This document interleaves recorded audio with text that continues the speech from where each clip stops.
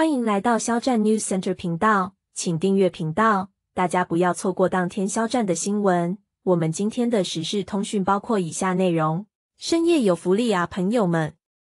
肖战工作室深夜放粮，也是给大家一个大大的惊喜。关键这福利的质量还是如此精良。肖战绝美背部让你清清楚楚看个够。肖战工作室还让不让人睡了的话题，也是迅速冲到了热榜的首位。果然，属于巨星的热度就是挡不住啊！意料之外、情理之中的事，就是肖战的超话又爆了。真的有点记不清，这是肖战开年这两个多月里超话第几回爆了。不要忘了，这可是深夜啊！这个爆真的是有震惊到我了。这是有多少人被这波福利惊醒了？这就是来自于活人粉的震撼场面啊！真是羡慕不来的。评论区下面更是炸锅的节奏啊！网友说：“睡什么睡？赶紧起来嗨吧！”也真真是笑发财了。大家说肖战这腿啊，这背肌啊，这气度啊，这这脸啊，他就是不让网友入眠的节奏啊！工作室曝光的这组照片是肖战拍摄 GQ 的花絮大片，一线大刊的出图果然让人惊艳。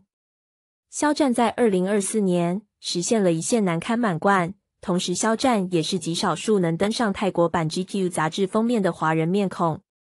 时装周期间，肖战台版 GQ 封面大片也新鲜出炉了。值得让粉丝们骄傲的是，中国台湾版 GQ 的上线是肖战继中国版、泰国版之后收获的第三个版本的 GQ 封面。台湾地区主流刊物对内地面孔的选择和合作都非常的谨慎，甚至可以说用严苛来形容。所以能够在台湾地区主流媒体上有亮相机会的是颇为难得的。肖战就是推翻了一堵又一堵的后墙，构筑了自己新的时尚版图。开疆拓土，肖战从未止步。粉肖战就是惊喜不断。开年仅仅两个多月的时间，从时尚大刊到主流奖项。到高奢定制，到米兰时装周的顶级牌面，肖战就是一次次惊艳你。